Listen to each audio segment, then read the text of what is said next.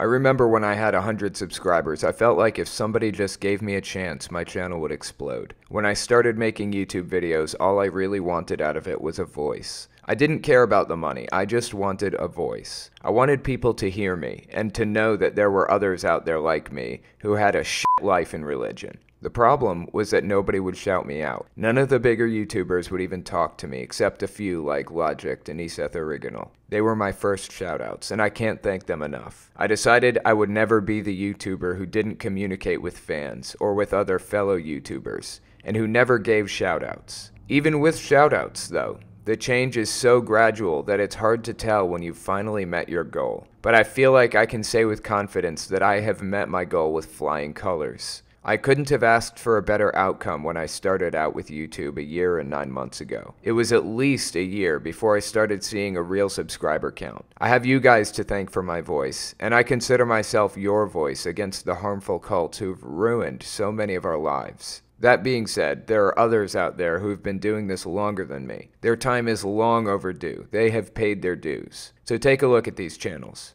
First, I want to mention the Geek Room. They have an awesome format. The channel is run by Wolf and Brand the Law, and they have a live stream format where they talk about videos and memes. They heavily cover religion, and they've been on YouTube since October 2016. Check this out. Fix that Earth. We got uh It's that Earth. the flat Earth. Okay. Right? So, So you got Earth with an F. and we're gonna take his word that he knows. Okay. All right. We're just, yeah. I'm sorry. So I know I'm doing this kind of old, this old ghetto ass illustration and shit, but the Earth's flat as ain't a goddamn ball. and uh, if you believe it's a ball, you can suck my balls. I'm gonna continue to say that it's flat as fuck. But He I is was thinking teabag. Like, oh, It's T-Mac. Oh shit! he paused it perfect. Look at his fucking eye. this is a flat earther, ladies and gentlemen. A perfect illustration right here before your eyes.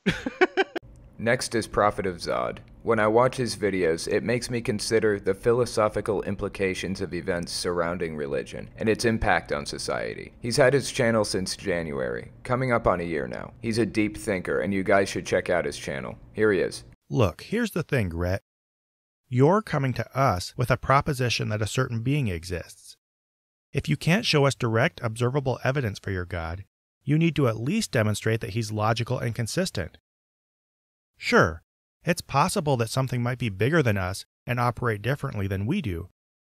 But you need to build your arguments for such a being on something that's consistent with our body of observed evidence.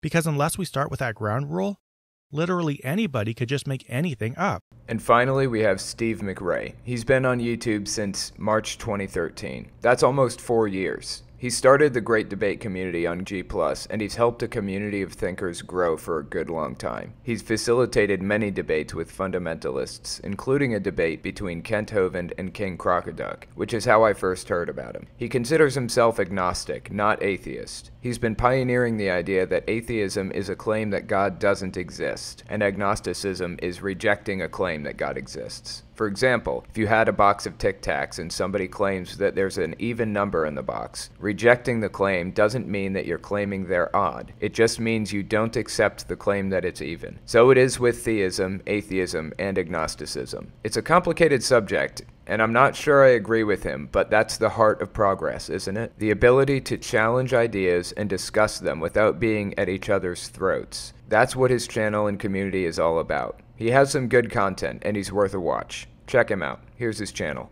Welcome to the Great Debate Community, a place where experts and laypersons get together to discuss topics dealing with theology, philosophy, biology, cosmology, and many other subjects.